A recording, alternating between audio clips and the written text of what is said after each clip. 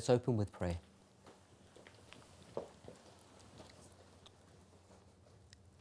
Heavenly Father, as we continue to open your word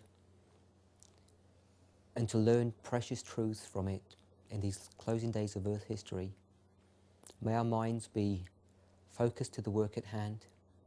May we not become distracted by the cares and perplexities of this world, neither by the, the distracting annoyances, but may our hearts be turned to the work that you require of your people on the Day of Atonement. We should be searching our hearts, Father, afflicting our souls to see who and what we are and whether we are fit to stand in this day of testing. As we continue with our studies on the 2520, may we begin to gain a deeper understanding of its significance, the purpose of this prophecy to our individual lives and to us as a people. Bless us now to this end, we pray in Jesus' name. Amen.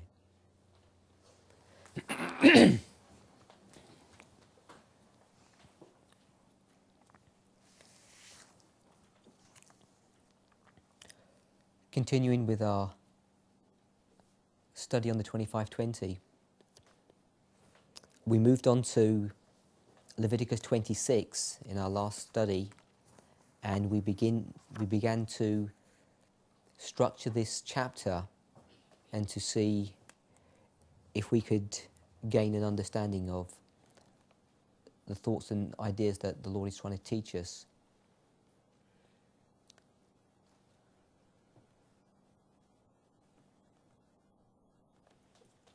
If you recall, we had section 1, verses 1 to 2. And here this was an admonition from the Lord.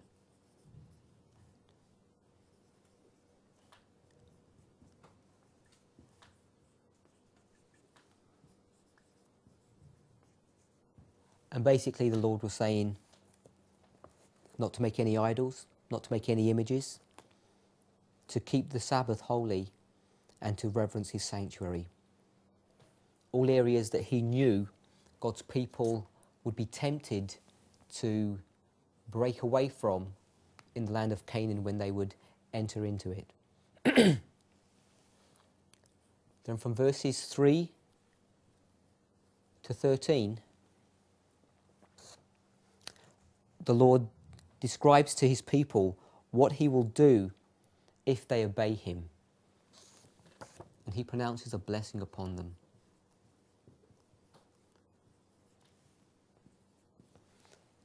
However, if they choose to disobey, verses 14 to 17 describe the curses that will come upon his people and we read a portion in our last presentation from Patriarchs and Prophets that described the history of the judges. This history was from Joshua to Samuel.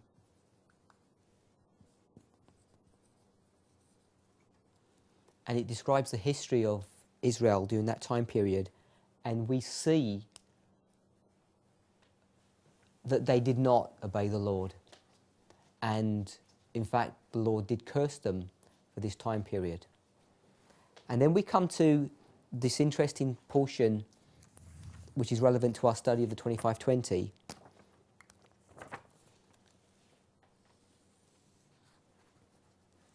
From verses 18 to 20, 21 to 22, 23 to 26, 27,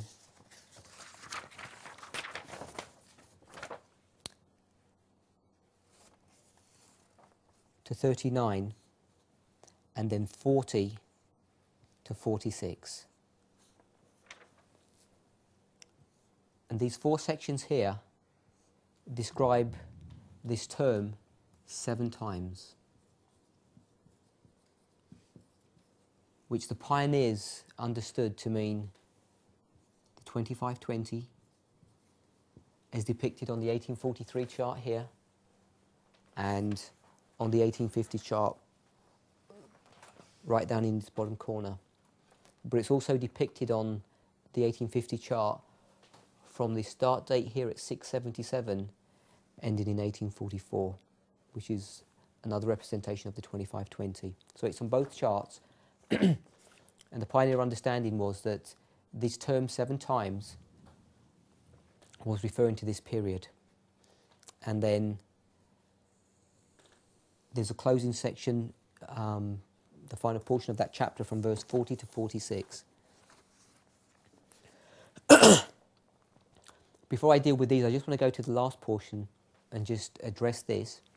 So let's read from verse 40. The word says, If they shall confess their iniquity and the iniquity of their fathers with their trespass, which they trespassed against me, and that also they have walked contrary unto me, and that I also have walked contrary unto them, and have brought them into the land of their enemies, if then their uncircumcised hearts be humbled, and they then accept the punishment of their iniquity, then I will remember my covenant with Jacob, and also my covenant with Isaac, and also my covenant with Abraham will I remember, and I will remember the land. The land also shall be left of them, and shall enjoy her Sabbaths while she lieth desolate, desolate without them. And they shall accept of the punishment of their iniquity, because even because they despised my judgments, and because their soul abhorred my statutes. And yet for all that, when they be in the land of their enemies, I will not cast them away, neither will I abhor them to destroy them utterly and to break my covenant with them, for I am the Lord their God. But I will for their sakes remember the covenant of their ancestors, whom I brought forth out of the land of Egypt in the sight of the heathen, that I might be their God. I am the Lord.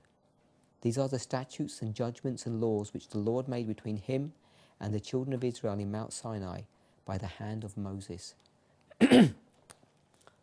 we can see here that God says, even though they have sinned against him and he's pronounced a curse upon them, at the end he will restore his people.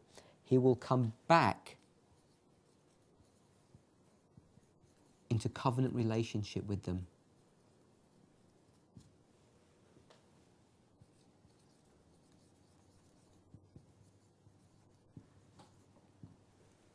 So he promises them, even though he punishes them, even though they walk contrary to him, and he will walk contrary to them, and he will punish them, and he will humble them, yet he will come back at the end and come back into covenant relationship with his people. So let's deal with this portion of this chapter here. But before we do that, I just want to, as a, as a way of introduction, go forward to Daniel chapter 4. It's a passage we spoke about yesterday. If you recall, Uriah Smith, in his book Daniel and the Revelation, in the appendix, discusses this 2520 time prophecy, and he suggests that it is not a time prophecy, in fact, and that one of the arguments that he offers is that it's repeated four times in the book of Levit in the in the book of Leviticus, chapter 26, and he attempts to, um, in a kind of half rhetorical, joking way, multiply this 2520 times four, and he got 10,080 years. And so he kind of says, this is obviously un, an untenable situation, and he uses that as part of the evidence that this four times or seven times occurs in chapter 26 cannot be correct. so let's go to Daniel chapter 4. And I'm not going to read the whole chapter. Feel free to read it um, at your own leisure. But I do want to offer you some kind of structure to this chapter. So in Daniel chapter 4, we can divide Daniel chapter 4 into four segments. So from verses 1 to 9, what you find here is that Nebuchadnezzar has a dream. He tries to find out what the dream means. The magicians, astrologers, and Chaldeans are unable to tell him what the dream means, so he goes to Daniel. So here he has a dream.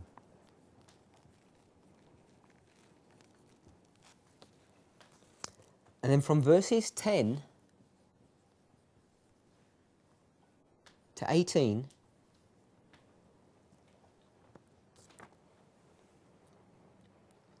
he begins to describe this dream. He says, Thus were, in, from verse 10, thus were the visions of mine head in my bed. I saw and behold a tree in the midst of the earth, and the height thereof was great. And he goes and explains what this dream is. So here he has a description of it.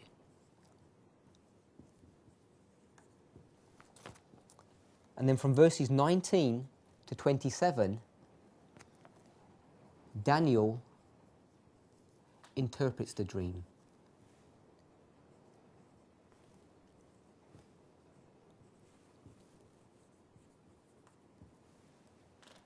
And then in verse 19 it says, Then Daniel, whose name was Belteshazzar, was astonished for one hour, and his thoughts troubled him. The king spake and said, Belteshazzar, let not the dream or the interpretation thereof trouble thee. Belteshazzar answered and said, My lord, the dream be to them that hate thee, and the interpretation thereof to thine enemies. And he goes on to describe the dream. then from verse 28 to 37, you have a description that the dream gets fulfilled.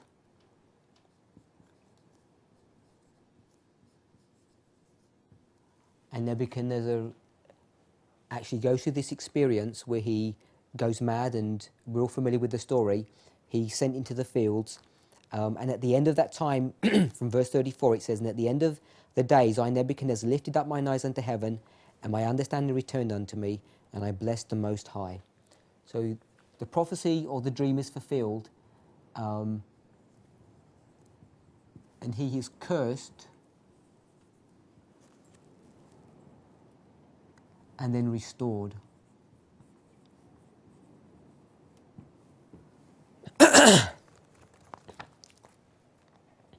now, in this structure of this chapter, a term is, is used, and it's the, it's the length of the punishment that Nebuchadnezzar receives because of his pride.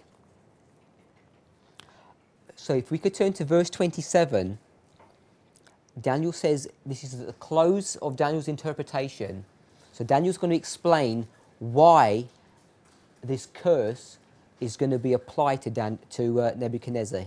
He says, Wherefore, O king, let my counsel be acceptable unto thee and break off thy sins by righteousness, and thine iniquities by showing mercy to the poor, if it may be a lengthening of thy tranquility. What I want to try and show you is that the structure of Daniel chapter 4 is very similar to the structure of Leviticus 26. And it's by gaining an understanding of how Daniel chapter 4 works, we can see how we should be applying these seven times of Leviticus 26. And so when we looked here, it was from verses 14 to 17, if you recall, where they receive this punishment. And then you get the description of this seven times. And so in Daniel chapter 4, there's a term seven times. We've already discussed in our previous stu- in our previous study that this seven times in Daniel chapter four is not identical to the seven times of Leviticus 26, but that's not the point I'm trying to make. I'm trying to make this point here. In verse 16, in the description, so this is when Nebuchadnezzar is describing the dream to Daniel, this term, and I'll put it this way, I'll, in this term seven times pops up and it's in verse 16 and it says, Let his heart be changed from man's, and let a beast's heart be given unto him, and let seven times pass over him. So there's a punishment that's inflicted upon Nebuchadnezzar, and then you have a duration for this punishment seven times. that's in the description.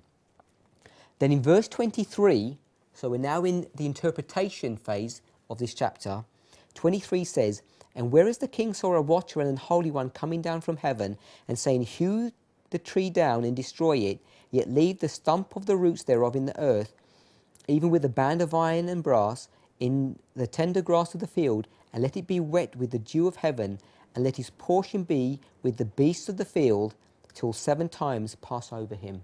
So here, again, we see this term seven times.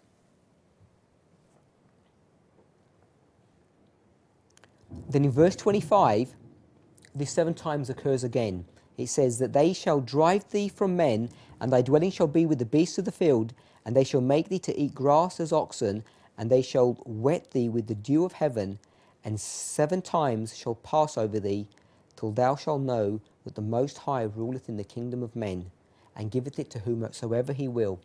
So here we see another seven times given. And then the last seven times is in verse 32 when this dream or prophecy is fulfilled. Verse 32 says, And they shall drive thee from men, and, and thy dwelling shall be with the beasts of the field, and they shall make thee to eat grass as oxen, and seven times shall pass over thee, until thou know that the Most High ruleth in the kingdom of men, and give it to whomsoever he will. So I hope you can see that how these seven times in Daniel chapter 4 uh, is structured. Now, when you read it, and I hope you've seen it already, is that this seven times is dealing with the same event. Nebuchadnezzar, because of his pride, is going to be punished. And this punishment is described as a single event. It's described in the description, twice in the interpretation, and once in the fulfillment of the, of the dream. But each time it's mentioned, it's always dealing with the same time frame, the same setting. And it's picking up the idea that we can get, a, get an understanding when we come to Leviticus 26 that in fact the same thing is happening in this chapter. Now, when most people come to Leviticus 26 and they see the curse here or the punishment that's in 14 to 17, and then they go through this chapter sequentially, what they think that they see is that there's an increasing severity of punishment that's applied to God's people. And they read it this way they say, God will punish them here. And if that's not enough punishment, then he'll punish them some more. And if that's not enough, he'll punish them some more. And if that's not enough, he'll punish them some more. And if that's not enough, he'll punish them some more. So they see this as this a sequential increasing punishment. I don't believe that's a correct way of looking at the structure of Leviticus 26.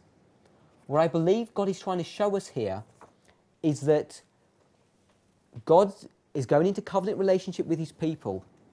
And he says, If you obey my word, I will bless you. If you don't, I will punish you. I will curse you. And then he describes what the punishment will be. And it's this punishment here.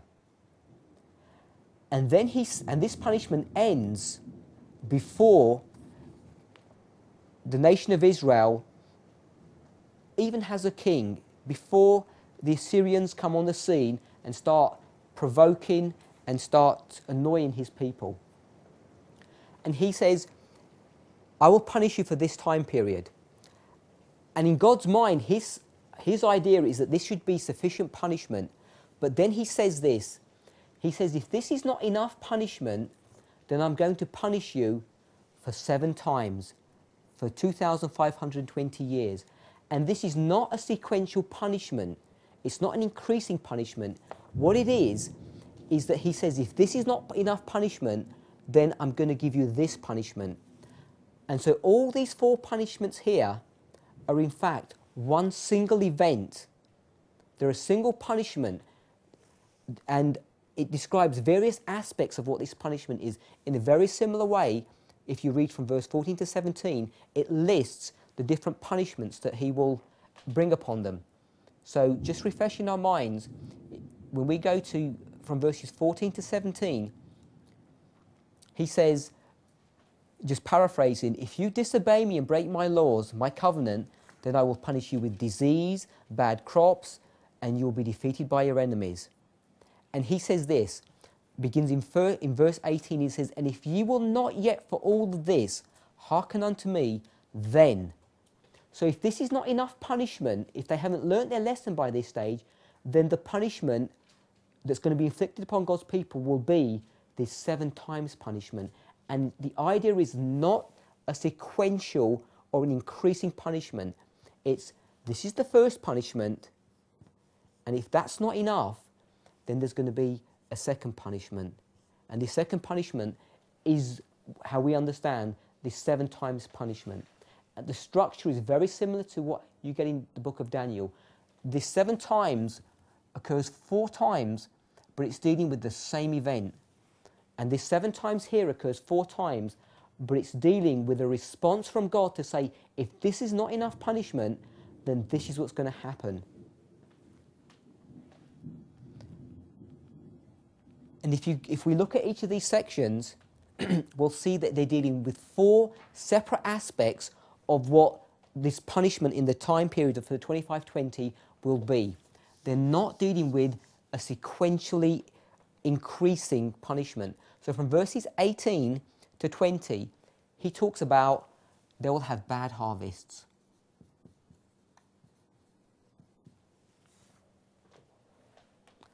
Verses 21 and 22 says that he will allow wild beasts to come. And if you would like to turn to Exodus chapter 23, verse 29, that's Exodus 23 29. God gives us some insight into this issue about the wild beasts. He says, I will not drive them, which are the Canaanites, out from before thee in one year. So this is before they enter into Canaan. And God says, when you enter into Canaan, I'm not going to have the land vacated all in one go. And then he explains why. He says, I will not drive them out from you from before thee in one year, lest the land become desolate and the beasts of the field multiply against thee. Obviously, the land of Canaan, before they enter it, is inhabited by the Canaanites, and they manage the land, they control it, and they keep the population of wild beasts down. If God were to wipe away the nation, the nations that resided in Canaan, the whole land would be before them. One issue that they would have would be that there would be no, not enough people to tend the land, and then the wild beasts would grow up and they would have issues and problems with them.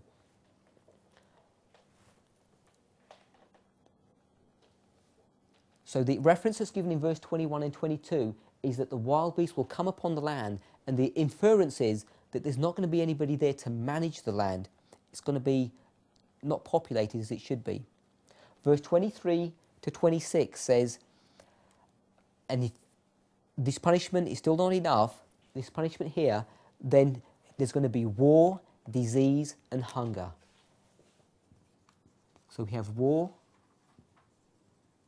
disease, and hunger.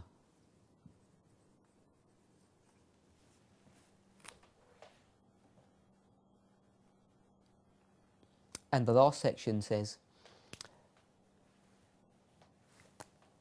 if we read from 27 to 39, it talks about eating the flesh of the children, destroying idols, destroying the cities, scattering God's people among the nations, so that the land will have Sabbath rests, and those who are left in the land will be weak. So God says He will cause the people to eat their children, He will break their idols and their cities. And this is God will do all of this. He will scatter them.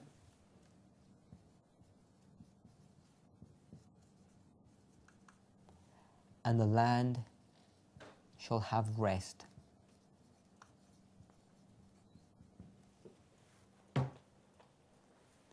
And if there are any people left in the land, they will be weak.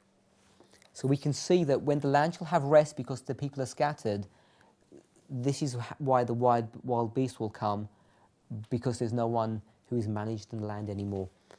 And if you read into these punishments, you'll see that all of this was fulfilled in the time period that is after the time period of the judges. It's not the time period that's dealt with in the period of the judges. So, in summary, the point that God is making here is He says, Keep my covenant. If you do, I will bless you. If you don't, I will punish you. And they don't keep the covenant, so God punishes them during the time period of the judges. And He says then, that should be enough punishment. You should have learnt your lesson by that stage. But if you haven't learnt your lesson during this time period, then I'm going to offer you a more severe punishment. And this punishment is the 2520 punishment, the scattering. And it's not for sequential, for sequential punishments. It's this is the punishment that will be applied if this punishment didn't work. It's dealing with one time period, one punishment. And it just shows you the breadth and the depth of the punishment that God brings upon his people. With that understanding, it, it gives you the ability to come into Leviticus 26 and to begin to make sense of what God is trying to teach us here. And it shows you the structure of, of, these, of these passages. So, I want to deal with another issue that's commonly brought up when dealing with Leviticus 26 and Uriah Smith brought up this very same issue and we'll tackle that issue in our next study but I just want to highlight it to you now. If you recall, and I'll quickly read the passage to you from Uriah Smith.